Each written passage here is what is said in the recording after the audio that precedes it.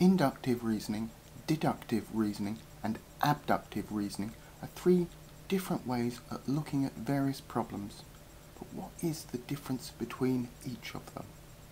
Well, in inductive reasoning, you're not actually certain of the answer to a problem, but are trying to get the best answer, or the most likely one, given the limited information available.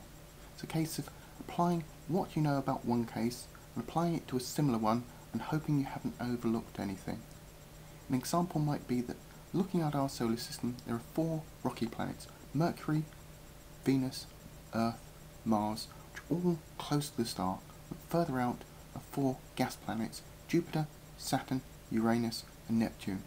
Using inductive reasoning would mean you'd expect to see smaller rocky planets in close orbit round another star and larger gas planets orbiting further out. However, just because you expect to see it doesn't mean it must be the case. Just that given the limited information, it's what you'd expect to see. For instance, in this case you may have overlooked the rocky bodies in the asteroid belt and the Oort cloud, which indicate rocky planets had potential to form further out from our Sun, and may have done so around other stars. With this type of reasoning, there are also some rather large biases which come into play, including confirmation bias, which could be called wishful thinking, where the evidence is selected to support what the person is trying to prove. For example, one could be trying to prove that rocky planets close to another star may support life, and therefore we find the evidence to support that. Then we have deductive reasoning, or top-down logic, where you follow the reasoning from one or more statements to follow them to its logical conclusion. So, if a rocky planet is needed to support advanced life, and a planet with liquid water is needed to support advanced life, deductive reasoning will say that you need a rocky planet with liquid water to support advanced life. However, deductive reasoning relies upon the statements to be accurate so that the conclusion is accurate. For instance, it's possible to have life on a planet without liquid water and the conclusion is inaccurate that liquid water and a rocky planet are needed for life. But just because one of the supporting statements isn't accurate doesn't mean that the conclusion isn't. In this case, if the statement about water is inaccurate, it doesn't mean that a rocky planet with liquid water won't be the only place to find life. It's just that this argument can still be the case as a valid possibility. It's just it doesn't have any sound scientific basis on which to substantiate the statement.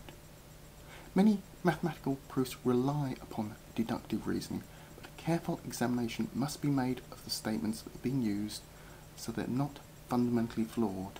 This has been the basis for many flawed theories from eugenics to intelligent design.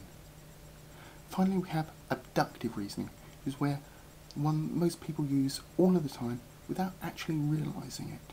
It forms the basis of many scientific theories. It's where you can come to a possibility or a range of possibilities to a problem by eliminating those possibilities which are highly unlikely, just leaving you with the more likely ones. May also commonly referred to as an educated guess. So for instance, you might say that life is highly unlikely to evolve on a planet which has a temperature of over 100 degrees centigrade because it'd just be too hot. Or a planet that was permanently frozen because it'd just be too cold. You could also conclude that because water is a perfect medium for chemical reactions to take place, that water would be needed for life to develop. You could also conclude that without a rocky planet with a strong magnetic field that's able to deflect the more dangerous um, rays of its star's energy, life would be extremely difficult to develop. So, by using abductive reasoning, you've concluded that the best guess for a planet supporting life would be a rocky one with liquid water on it. However, abductive reasoning gives only a good basis for further investigation. It doesn't actually prove anything on its own, and quite often it can be wrong. So there we have inductive, deductive, and abductive reasoning, and some of the pitfalls you can encounter when using them.